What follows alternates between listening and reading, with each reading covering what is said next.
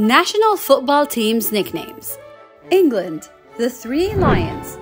We see lions in many of the Football Association's emblems, yet it is rare to find three of them in one go. In the case of England, there is a story to it. The first appearance of the Three Lions was in 1198 on the Great Seal of King Richard. Why three?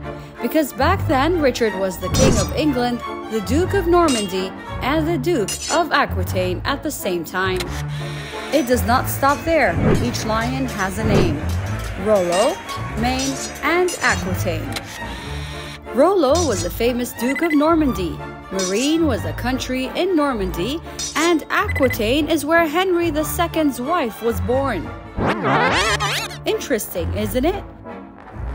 Good luck, Three Lions!